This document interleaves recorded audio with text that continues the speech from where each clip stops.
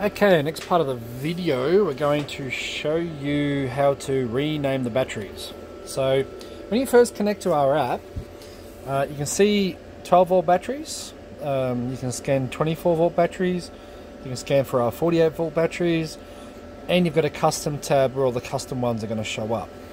So you can create custom labels um, for your batteries so that if you're out camping with your mates or whatever, um, it's easy to identify your batteries because you can create custom uh, labels.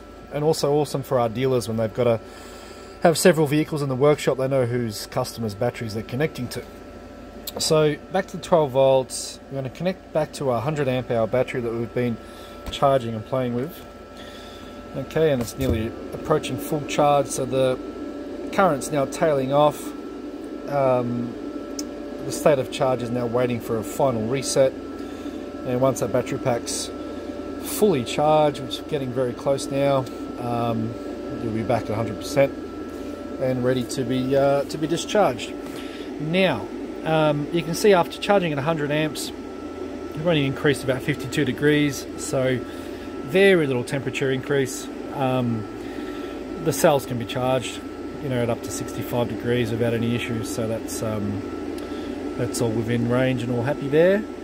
Now, uh, re renaming the batteries, very, very simple.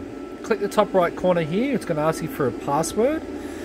That password is rename, so you're never going to forget. To rename your batteries, the password is rename.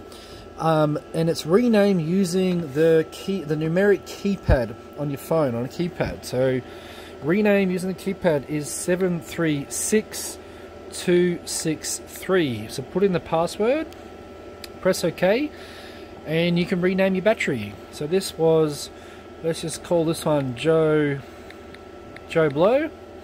Done. Modified successfully. Now, that uh, name has been written uh, to the battery. And when we do a refresh here, you can see it's no longer popping up. Okay, because now when we scan for this battery, it's going to come up in the custom area. And there he is. So that battery now is Joe Blow. It's no longer coming up in the 12 volt area. And there it is. So you can click on that, connect to it, and that's Joe Blow's 12 volt battery. Um, and now you can see it does come up here with the name. Uh, the MAC address is always there. The MAC address is permanent, it's never going to change, but you can rename the battery.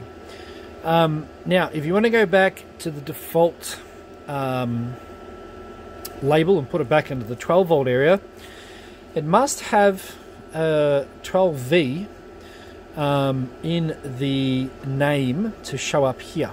Okay, so most our batteries are DCS 12 volt, whatever uh, battery pack it is. Go back to custom. Let's connect back to this guy. Um, we want to call him, so for example, the password again renames to 736263 and we're going to call him the 12 volt um, best battery, right? And press OK. And that's been modified successfully. And now you can see it's coming back up in the main 12 volt tab as the best 12 volt battery. So as long as you have that identifier in there, it will still come up in that uh, in that section.